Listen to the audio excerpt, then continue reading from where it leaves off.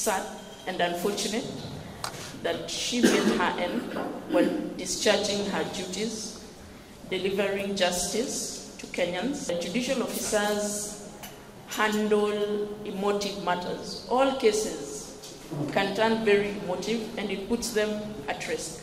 So we need to have security measures to ensure that they are always safe as they discharge their mandate.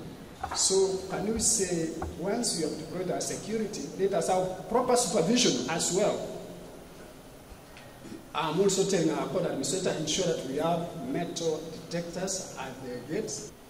You can also advise us those that will not be allowed to enter with their guns in the court compound premises. How are their guns secured at the entrance? We shall be requesting the county government to allocate land so that we can have perhaps government allocate resources for construction of houses for judicial officers and judges. Otherwise, we may be talking one section of security and forget the other.